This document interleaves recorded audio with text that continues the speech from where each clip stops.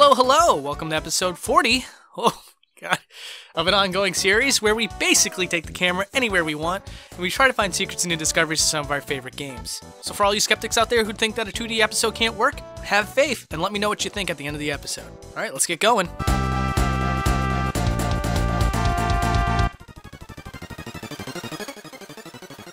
First, I want to thank A Plus Start, yes, son of a glitch himself, for making the intro this week. It looked amazing, dude. But to get back on topic, I think a lot of you are probably going to be asking yourselves right now, how are you going to do a lot of the things that you do in Boundary Break? Well, let me dispel a little bit of that right now by showing you one of this show's most treasured features, a zoom out. So when you zoom out Onett, you can actually see that the entire area is connected. Even areas you can't reach as a player was still made by the game's art team, so that the geography in the town of Onett and many other places in Earthbound would be accurate and would make sense, even if you could go to those areas.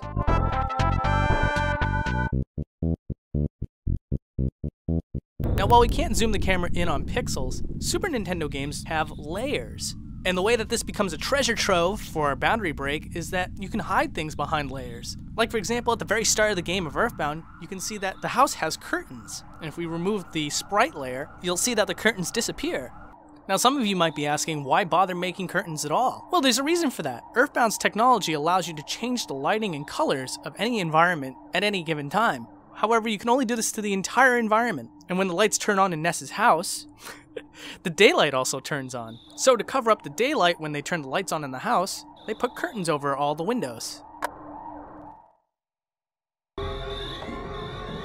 So now that you know how this episode works, let's start finding stuff. Over here at the crater site with the meteor, we can actually discover that there is a crater unique to the meteor itself hiding underneath, but you never get a chance to see it because the meteor never leaves the game. And also, if we walk over here, we can see that these moving clouds are not just on the sprite layer, they actually move around as character models. And the reason why we know this is because the only thing that Ness can't walk through right now is NPCs and enemies. So in order for this to be stopping him in his tracks, it essentially has to be a dummy NPC.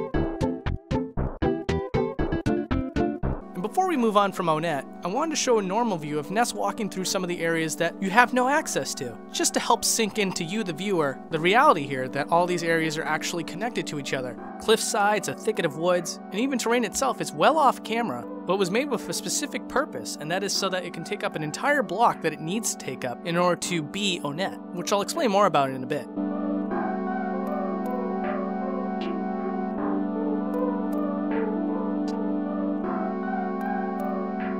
So much like a handful of other NPCs that we're going to be taking a look at in this episode, the manager of the Chaos Theater is always hidden behind something, which is his desk in this case. So if we remove the layer that hides sprites, we can finally take a look at what the manager looks like in full. Now while he doesn't have a sprite for looking backwards for some reason, he does have one for looking forwards and to the side. Another cool thing with layers is that some of the backgrounds, not all, in the battle scenes of Earthbound, you can oftentimes see two layers being used to represent the background. Of course, if we remove one layer, you can see how the other one would look before the two were combined together. Now here's a rather stupendous little tidbit. In a few cases, but it's very rare, some towns in Earthbound will actually be connected to each other, and then the environments cross over seamlessly. Like for example, we just started at Twoson and worked our way down into Happy Happy Village. Now the only problem with this is that Happy Happy Village is supposed to have blue colors, and that's triggered when you load the map again when you're in Happy Happy Village. But since we didn't go through any cave entrances, the colors from Twoson carry over.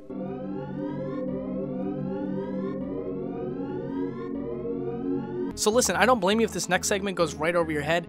I feel like I'm kind of being like a teacher right now, which is weird, but let me try to break down what's going on here. So in this room, there are a bunch of cultists. Now, there are some that you can talk to and some that don't speak to you at all. And when we start removing layers in this game, you can see that the real NPCs that you can actually talk to disappear because they're sprites. They're just like you. However, the other guys are just scenery, they're props. So they're only there to block your way. So they're not sprites, instead there's some parts environment and other parts overlapping layer. So if you walk behind these guys, Ness will be obscured by their hoods. And of course if we start removing layers, you can see just that part of the cultist that's supposed to cover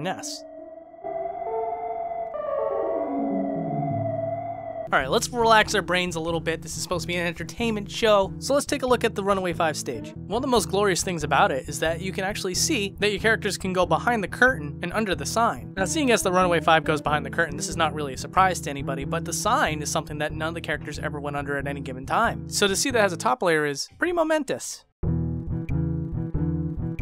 Now here's an unusual trick used for Tessie. As you know, Tessie rises from the water so that Jeff can ride on her or it or him, I don't know. But if we remove the base layer of the game, you can see that there's a blue watercolored layer. Now what's really odd about this in particular is that it only exists for as long as Tessie rises from the water. It's meant to hide it, but I can't remove that layer without removing Tessie because it's on the sprite layer. Nowhere else in Earthbound can I recall that there is a layer that's on the sprite sheet that's meant to mask any of the characters. Usually it's on a layer all on its own.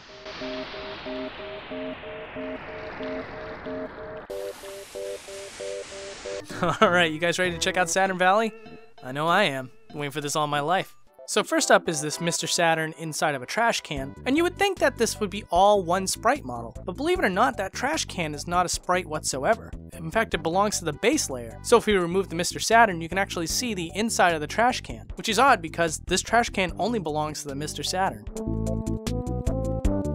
And now we are inside the drugstore equivalent of Saturn Valley. Fun little fact, if we remove the sprite layer in this room, you can actually see that there's a cup underneath the phone. Now this can mean one of two things. Either one, it wasn't originally meant to be a telephone there, and that you were actually meant to drink the coffee here inside the shop, or the more likely reason, the art designers of this game decided not to make an empty plate because they knew they could put a phone right on top of the existing cup plate model. Now this isn't very boundary breaky, but this is my first time discovering it now as a hardcore Earthbound fan, so I figured I'd share it with you guys. Apparently, if you go back to the Red House in Happy Happy Village after you rescue the Saturns, you're actually allowed inside the house. And inside you can find a Mr. Saturn, of course, with a unique elongated room.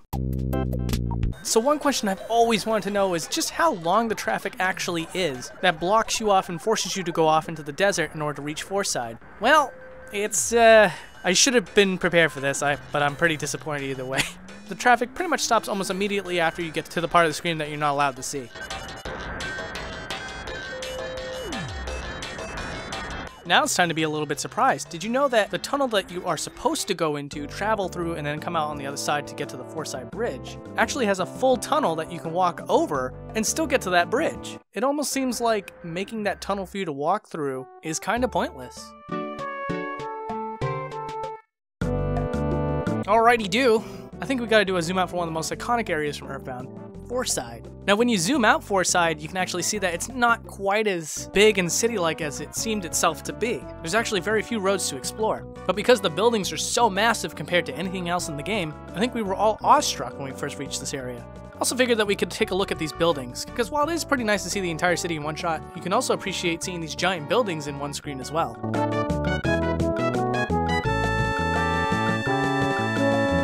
Now here's something I thought that I found for the very first time. I was so excited. And of course, somehow, someway, someone already found it and put it on the Cutting Room Floors website. But it's still cool and I still want to share it with you guys. So I've been playing Earthbound out of sequence a lot. And one of the things that I found out was that this clumsy robot over here at one point was supposed to be able to be defeated before you help out the Runaway 5. Now, in the final build of the game, that's simply not possible. You cannot beat this robot before helping the Runaway 5. And what happens at the end of that battle is that the Runaway 5 comes into the room, flips the switch to off, and you're essentially rescued. But if we do it out of sequence and we fight this robot, things play out a lot differently.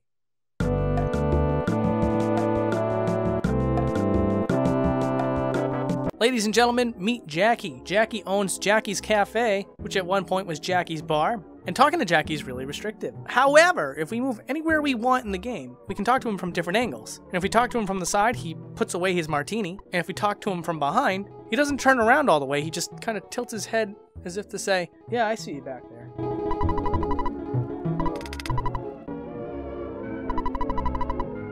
So similar to the Chaos Theater owner, we're going to remove a layer so that we can see the spooky mook in all of his glory.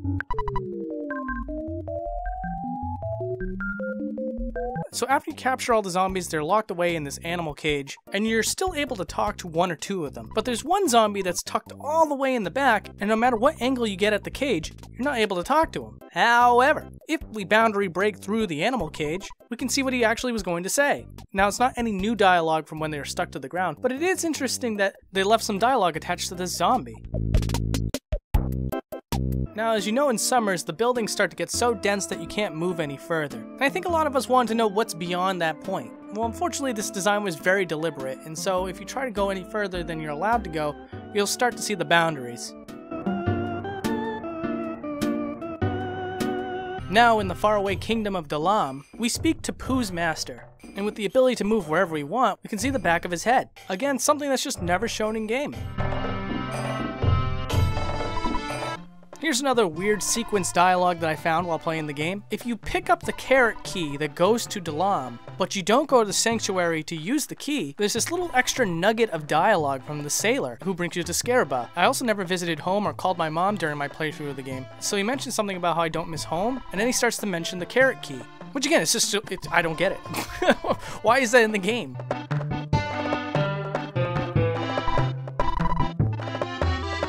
You know, speaking of this scene, this is an awfully unique area of the game, so I figured we could go visit it. Now, while you can kind of see pretty much everything there is to see askewed off screen, if you move all the way to the edge of the map, you can see the buildings and volcanoes in full. And what's really interesting too is that the land in this area can be walked on, which makes me wonder at one point if you were supposed to have the mini sprites and walk around through here.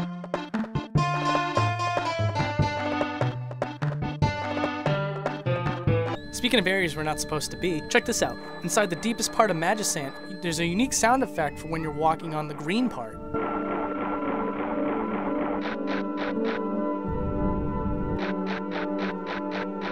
In this quick little segment, I'm going to debunk some stuff. Now, in certain areas of the game, like where the chief is talking to a police officer behind the barriers, among many other areas where you can see an NPC but you just can't quite reach them, you want to go over there and talk to them and see what they're going to say. Well, don't worry, I considered all of those areas. And this little clip is just meant to be a small example of what happens when you do try to talk to them. Okay, time to peel back the curtain just a little bit. In the world of Earthbound, everything exists on one giant plane. Now here's the only problem though. When you go in and out of areas, it loads a new texture. So if you were to immediately walk to an adjacent area, you're not going to see it. It's going to look like the void, but it's not actually. And the best indication of that is what music plays when you step into the darkness. But don't worry, all's not lost. If you want to see the area that you stepped into, all you gotta do is use the Soundstone, because it behaves the same way as loading a zone. So for example, the Lost Underworld is directly above Fourside, and if we use the Soundstone here, we can be big character models inside the Lost Underworld, which is awesome. Which also made me think of something. What if we came from the underworld as tiny sprites and worked our way back down to Fourside? What would happen then? And the results were exactly what I hoped they would be. Introducing tiny sprites in Fourside, I do recall on starmen.net that there's unused sprites for Ness doing the fuzzy pickles. So what if we took the tiny sprites over to a photo spot in Fourside? What would happen then?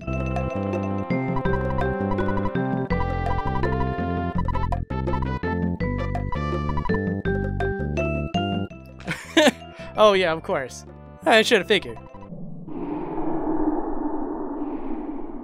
So now we're going to take a look at Giygas. There is one thing about Giygas that the player is not allowed to see that we're going to show you today and that is that the full picture of Giygas is not in frame, and you're not allowed to see it in full frame. But if we move the camera up just a little bit more, it looks like Giygas almost has like a rib cage or like a hatch door at the very tip of his, uh, whatever he is. To me, this is especially important because Giygas in general is wrapped in so much mystery. You want to know as much about him as you can. So to see this little extra bit of his entire embodiment is something special. So now we're going to finish this episode by incorporating all the things we learned today, which is that the entire world of Earthbound is connected together, that when you walk past a boundary, you're actually walking into another area of the game without loaded textures. And thirdly, if we don't properly load the map with the correct color settings, it'll incorporate the color settings from another area so long as they have the same sprites. So once we get to the end of our little journey here, we actually stumble upon the flashback sequence that Ness sees in Magicant, where he visits his home for the first time and sees himself as a baby. Now normally this scene is in black and white, but because we traveled here from Onett during nighttime, it's got a nighttime setting instead. And I did take a look. Unfortunately, we can't walk inside the house, but you know where it leads to.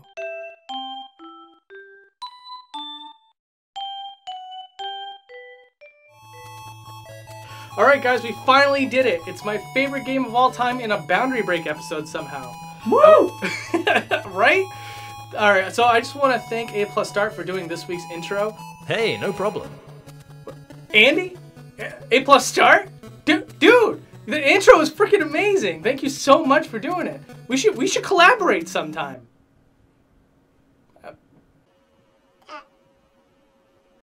I'm sorry I was pulling a roast out of the oven. Did you say something? Oh, okay. Yeah, yeah. I thought I was just saying we should collaborate sometime. You, what do you think? Sure, maybe in a few weeks.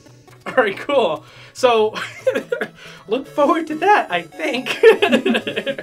Anyways, guys, uh, I'm going to be on vacation, so I'm not going to be able to do a vote for this week. Instead, I'm going to do a remaster of a really old episode, and that episode is going to be The Legend of Zelda The Wind Waker, which Pat might remember shooting for. I think I remember that one. More footage, better commentary, better pacing. You're going to get it all. So I hope that you enjoy it. And uh, I kind of sounded like Reg Fils-Aimé for like a second there. With a world of possibilities, my body is ready. But will it be 1080p or 4K? We don't care about graphics with Nintendo. Ex- expect 720p. if you like this episode, consider checking out the playlist.